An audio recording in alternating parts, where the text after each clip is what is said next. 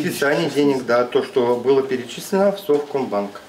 Это Александр Фролов 55 -го года рождения. С его счета и списали те самые 56 тысяч рублей. По его версии, в этом виноваты приставы, которым по решению суда несколько лет назад было вынесено постановление на арест счета. А когда со своим адвокатом доверительным пришли смотреть дело, это оказался совершенно другой человек, одна фамилиец с поселка Акташ Альметьевского района. Потом я позвонил Совкомбанк, а мне в Совкомбанке говорят, вы никогда не являлись нашим клиентом. А вот настоящий заемщик – это уже Александр Фролов, 73 -го года рождения, который действительно брал кредит в Совкомбанке, но, по словам, успешно его погасил. Оплачивали ему через кассу или у вас удержания производились по Через кассу мы, я уплачивал.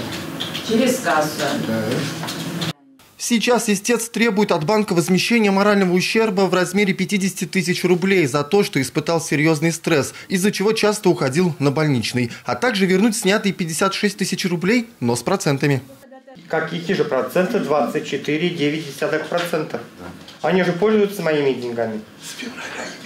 С февраля месяца. Опросить представителей банка на судебном слушании не получилось, они его не посещают, поэтому для разбирательства суду нужно изучить еще несколько документов.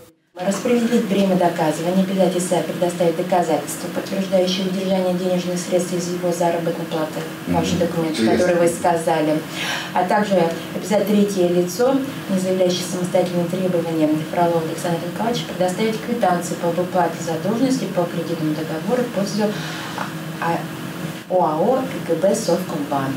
Второе слушание по этому делу пока осталось без решения. Следующее заседание перенесено на 14 июня.